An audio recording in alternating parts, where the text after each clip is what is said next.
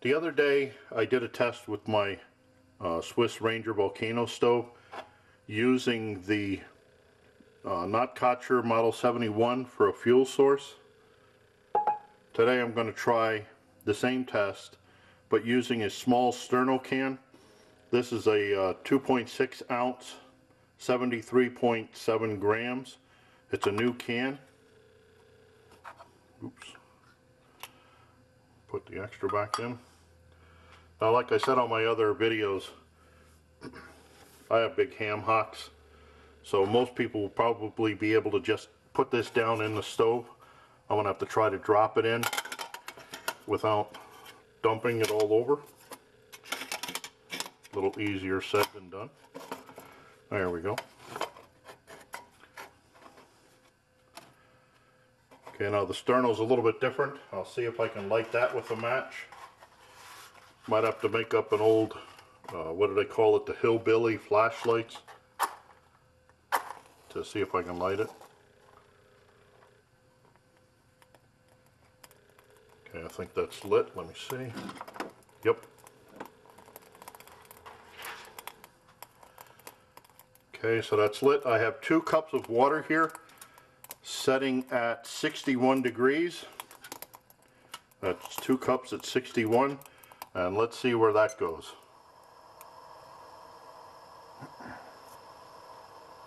Okay, there we have 210.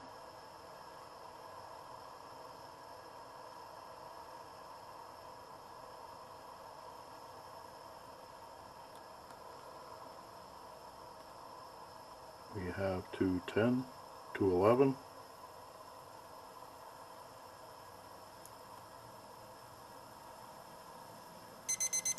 Two twelve at sixteen thirty seven. Let me take this off because it's going to boil over. 1637 to get two cups of water to boil from 61 degrees. Room temperature was 56, humidity 56%, and it's sunny out. Sterno is just not as hot a burning material.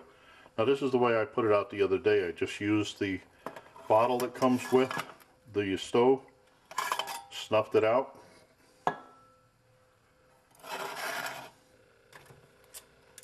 and you see I don't know can you see it there? Is there too much reflection? No soot. Oops. So although it's not as hot a burning material it is soot free so to speak. Let me just pour this off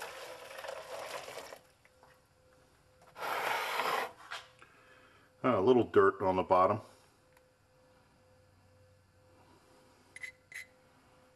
but nothing on the sides. So there you have it. The Swiss Ranger Volcano stove using a small can of Sterno. Two cups of water, 61 degrees, came to a boil in 16 minutes and 37 seconds. Uh, with using the Notkocher, about the same temperature, got to boil in 9 minutes and 22, but ended up with a lot of soot. So I thank you for watching. I look forward to your comments, remarks, helpful suggestions, and watch for my buddy Max. Bye now.